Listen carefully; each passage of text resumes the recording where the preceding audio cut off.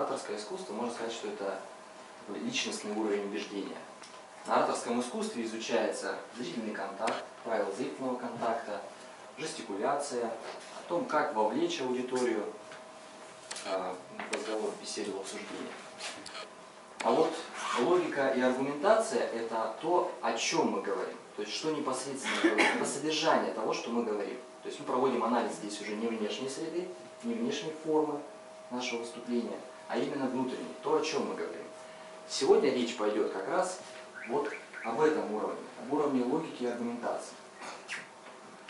Не совсем об ораторском искусстве. Хотя это составная часть ораторского искусства. Каждый оратор должен быть убедительным на обоих уровнях. Теперь я хотел бы спросить вас, что такое аргумент для вас?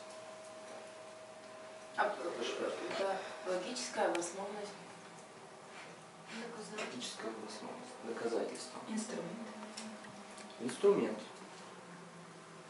Еще. Факт.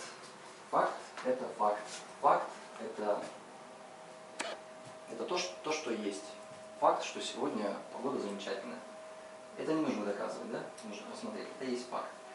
А аргумент, или вернее, скажем, факт и тезис, который требует доказательства, требует подкрепления аргументов, это разные вещи. Да? Как раз тезис нам нужно доказать. Нам нужно подвести какие-то аргументы, чтобы доказать, что это действительно факт. Вот это отличие принципиальный факт от аргумента. Давайте сразу начнем с того, что мы с вами сегодня будем обучаться, изучая несколько блоков аргументации. Первый блок. Мы рассмотрим с вами структуру аргумента, как должен выглядеть аргумент. Вот мы, с вами сейчас сказали, что аргумент это некий довод, подтверждение тезиса. Аргумент. Первое. Как вот строится структура аргумента?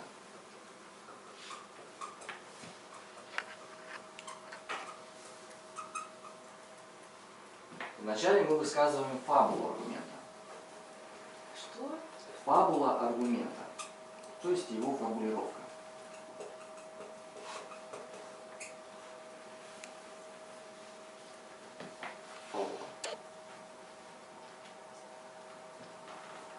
Предположим, мы с вами защищаем какой-то бизнес-проект. И нам нужно доказать, что этот проект эффективен. Мы выдвигаем тезис. Этот проект эффективен, да? скажем, внедрение а, данной системы мотивации или а, внедрение данного оборудования позволит увеличить прибыль. То есть наш аргумент, почему он эффективен? Потому что он позволяет увеличить прибыль. Это формулировка, фабула аргумента. Увеличить прибыль.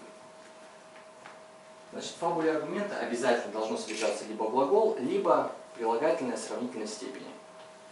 Либо значит, э, это оборудование сделает надежнее производственный процесс, то есть мы какой-то проект внедряем, да, оно сделает надежнее какой-то процесс, удобнее и так далее. То есть здесь присутствует сравнительная степень. А, и либо глагол увеличит, уменьшит, сократит издержки и так далее. То есть обязательное присутствие глагола, либо прилагательное сравнительной степени.